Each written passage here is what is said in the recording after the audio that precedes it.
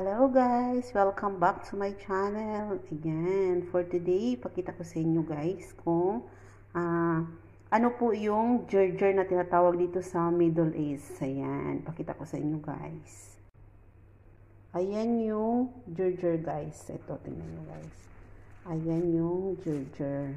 Ayan, pinutulan na siya ng kanyang puwet. Yung kanyang mga ugat-ugat guys. Lilinisin natin to ngayon guys. Iisa-isahin natin to paano maglinis ng gerger. Ayan po yung gerger guys. Ayan. Yung makakaalam lang po nito is yung mga taga Middle East lang. Yung mga nagtatrabaho sa ibang bansa. Oh, ito po yung tinatawag na gerger. Yan, full of vitamins po ito. Yan, fresh na salad ng Middle East. Ayan, mahilig ang mga Arabo kasi yan.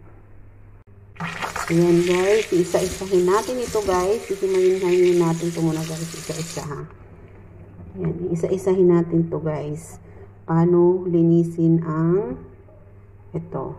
Ayan, isa-isahin natin guys. Wait lang. Ayan guys. Ayan, hugasan to siya guys. Isa-isahin natin. Tapos ilagay dito. Ayan, ganyan lang siya guys. Mega mega shout out love. Mega mega shout out love. Yan, nung hindi pa nakakaalam nito guys, na yung pangalan nito is Gerger. Ayan po yung Gerger. Ayan. Gerger. Gerger. Ang sarap na yan ng gerger. Oh, fresh salad po ito guys. Isa-isahin natin to guys. Sa mga hindi pa nakakaalam nito, ito po, yung burger. Ayan, may mga malalaking dahon, may mga maliliit.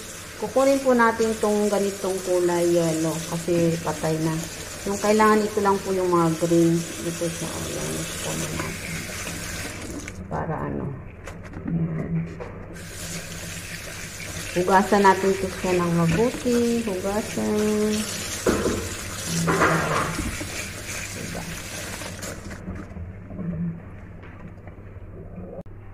Ayan guys, yung nalinisan ko na na charger.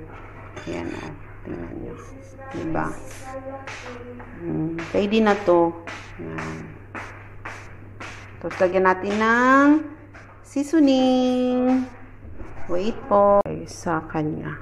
Ayan. Tingnan nyo po. Cortas. Ayan. Momigrant night. Silagay natin dito. Guys, so. Kanya na siya guys. Tapos kakainin na na siya. Yan. Ayan. Thank you for watching. Ayan. Kung bago pa lang kayo dito sa aking channel, please like and subscribe. Lynn Misal. Thank you.